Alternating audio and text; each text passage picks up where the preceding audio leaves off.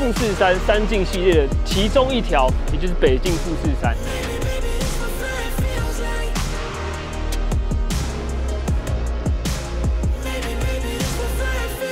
它不会突然走上或走下，所以我觉得路线友善度来讲，目前为止都还蛮高分的。跟上，跟上，加油，快点！十二公里了！一点的。哎，我们来到了富士山山境系列的其中一条，也就是北境富士山。那这条路线呢，应该可以说是三条路线当中算是比较热门的一条。只要是台湾车友，或应该说各国。只要是想要来挑战富士山，基本上都会选这条，因为它在每年当中会举办一个算是富士山的 KOM 挑战赛，而且它会依照不同的时间，就你的完赛成绩不一样，给予你不一样的这个车上的这个小环。嗯，没错，所以它其实是给大家一个呃在成绩上面的一个就是激励。如果你可以骑进几小时内，呃，应该没有到几小时，就一个小时几分内，然后你就可以拿到金色、银色铜标，或者是。呃，下一次再努力这样，所以我们今天呢，算是比较呃开心一点，因为这条路线算是三条里面应该相对来说比较简单嘛，稍微没这么陡。因为其实我们骑过另外一条东进啊，或是南进，其实路线来讲，稍微的爬坡程度都比这条可能还稍微辛苦一点。但这条虽然里程比较长，但是它平均坡度平均下来骑乘的感受应该应该是不会这么辛苦啦。但还是很辛苦。希望你等一下可以坚持完成挑战完，这原全长大概是二十三公里，然后爬升大约是一千两百公尺，所以换算起来平均坡度大概只有七趴，六到七趴。只有，但是只有只有，你要想到我去骑的那条东进五岭路线，全长十一公里，爬升一千二，所以那个平均十几爬。这个路线比较起来，应该是友善一点的，非常的亲民，所以我们等一下就一路呃边骑边看风景，然后听说它在终点的地方，就是他们的五合目，有非常多商店街之外，有很多很特色的小卖店，就是欧米亚给可以买，没错。好了，讲那么多，那我们就出发吧，Go Go。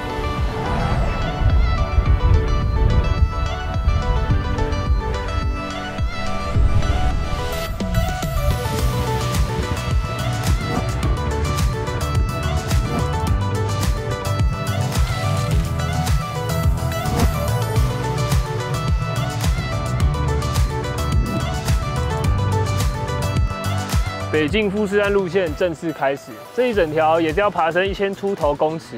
那但是它的起始海拔其实就已经在一千一了，所以到顶的海拔高度应该会比呃像东晋还高一点点。那现在的气温，我的体感觉得蛮冷的，都有点鸡皮疙瘩。现在大概只有二十一度，然后我们的坡度啊，刚刚讲到其实比较平缓，所以它其实在刚才这段路线的平均坡度只有大概六趴而已。像现在这个路线。只有六趴，所以就是有一点点陡，但是我觉得不是到真的困难到不行的陡，但是因为这边的起始海拔就已经从一千开始了，所以其实是体感上是有点喘的。OK，还有一千两百公尺要爬的爬升，二十几公里，继续出发。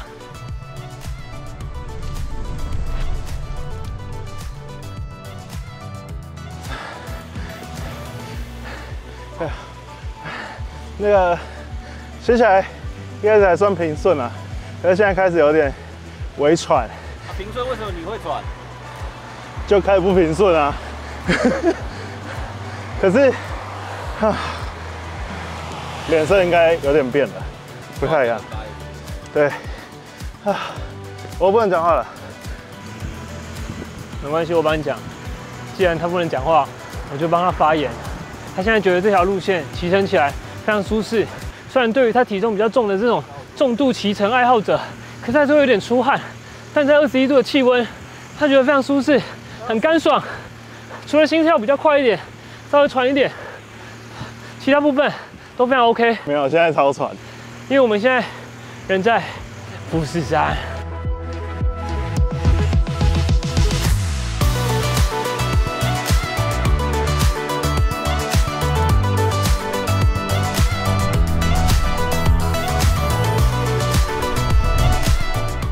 OK，北京富士山我们已经骑了三点多公里，现在距离第一个休息点已经差不多过了三分之一。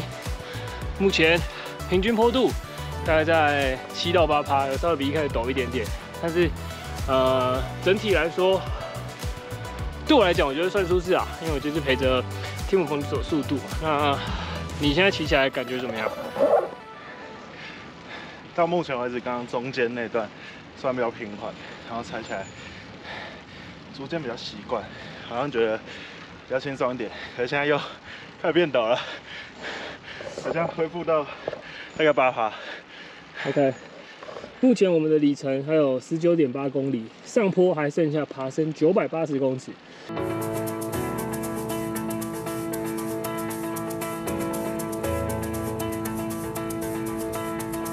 我觉得在北京富士山骑起来，真的感觉很舒适啊！因为说实在，整条路段的车很少，然后坡度也就是相对来说非常的平缓。呃，平缓的意思是它不会突然抖上或抖下，所以我觉得路线友善度来讲，目前为止都还蛮高分的。感觉有进入状况哦，稍微调整的好一点。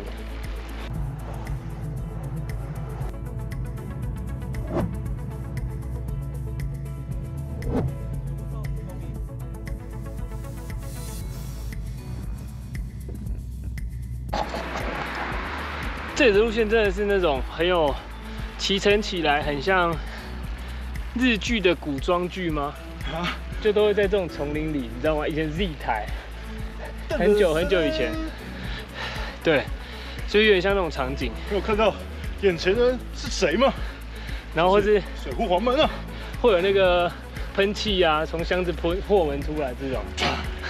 啊，是将军殿下，快跪下！这种路线真的是蛮接近这种就是很原始的感觉，但我觉得骑乘起来很舒适啊，因为真的像刚刚说的，就整路真的都是只有我们两个在骑而已，其实没有看到什么其他很多车子，或者是说就是路上路上会有很多一些其他外在的因素影响。上班日啊，没错，我们今天是平日来骑，所以路线可能大家都还在努力上班，而且下午的时间可能比较少会像我们这样。这个时间来运动，没错。那这个时间来骑，其实也蛮有风险的，因为通常下午比较容易变天，天色渐暗了。对，所以其实现在可以看到看不太到富士山本体，而且都是云。平路了，平路了，可以稍微缓和一下。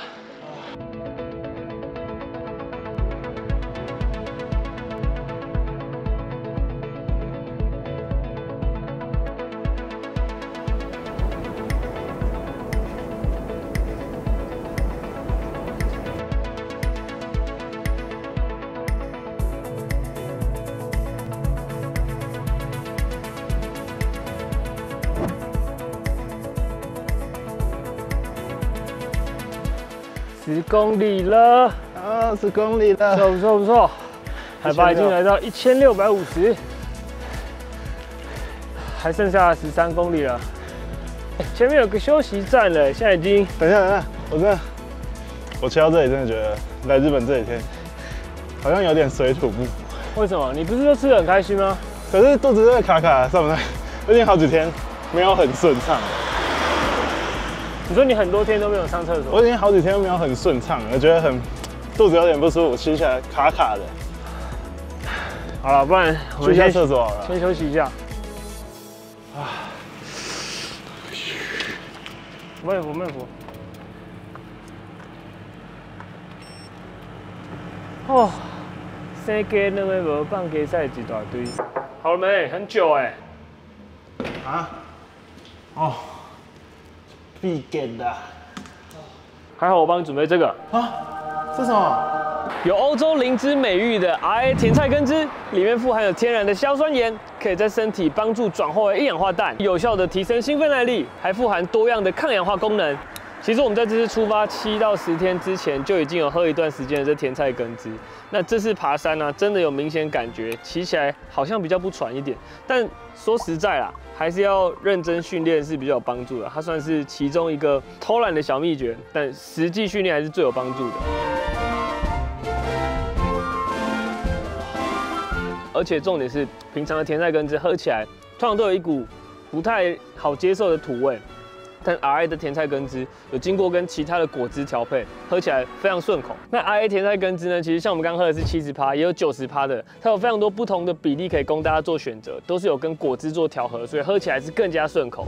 那重点是啊，它里面富含了天然的硝酸盐。那天然硝酸盐呢，其实是可以帮助身体转换为一氧化氮之外，它可以间接的降低你身体的耗氧量。那除了这个之外，它还可以有很多功效。我也是 Google 发现，促进身体的代谢，最重要的是它还可以让让你的排便变得更顺畅。所以其实平常啊，有超级多自行车或是有氧耐力的运动员，通常会在七到十四天的赛前开始每天喝一点甜菜根汁，因为对于身体啊能量恢复，还有帮助这些呃带氧量，他们都觉得非常有帮助，所以会在七到十四天前开始饮用，这样对于赛事来讲可能会是更有帮助的。目前里程大概剩下十二公里，这一段的坡度就有点稍微上升了，一路都在可能是六趴到十趴附近上升下降，但这一段比较好的是有出太阳，所以这一段的天气稍微比较舒适一些。一开始前面前面有一段雾蛮大蛮湿冷的，跟上跟上，加油，快点！十二公里喽！目前里程剩余八点三公里，已经骑完了，已经骑完了十五公里。这一段的里程从十到十五 K，平均坡度就稍微比较缓和一点了，大概都是只有四到六趴，偶尔会来一点七趴或是八趴。但平均其实都是这种比较算是高速坡的一个路段，骑乘起来其实还蛮过瘾的，因为可以维持一定的节奏、踩踏的频率还有瓦数。但是呢，又持续的有在爬坡，所以我觉得蛮舒适的。只不过天母峰地座不见了，没关系，我们到山顶继续等它吧。Go go！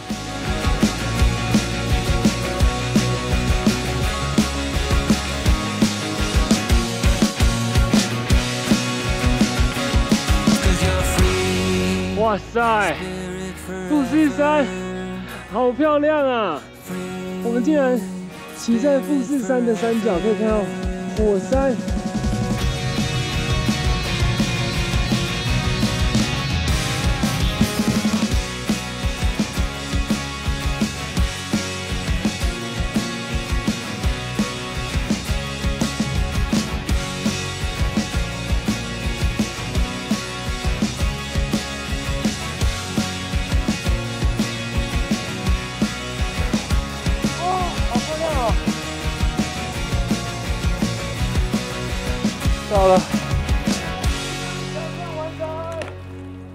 三零五公尺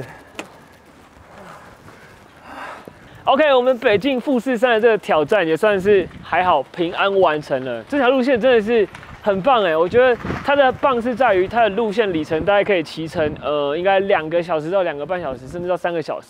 但沿途其实有超级多一些嗯、呃还不错的休息点，有厕所，而且又有一些投币的贩卖机。但是重点是它在后面的这个风景真的是很漂亮，尤其只要过了就是最后五 K 左右，其实路面平缓之外，可以看到的风景也真的非常精彩。好了，也要非常感谢我们这一集的赞助商 R A 果汁。如果大家对于这个果汁也非常有兴趣的话，赶紧点击下方资讯链接。我是你教练杨队，喜欢我们片记得按赞、订阅、分享、开启小铃铛。我们就下一次影片见喽，拜拜！太漂亮了，我们太幸运了。听说这边有点不太容易看到这么四 K 高清的富士山啊，竟然让我们看到了，太幸运了！北京富士山成功。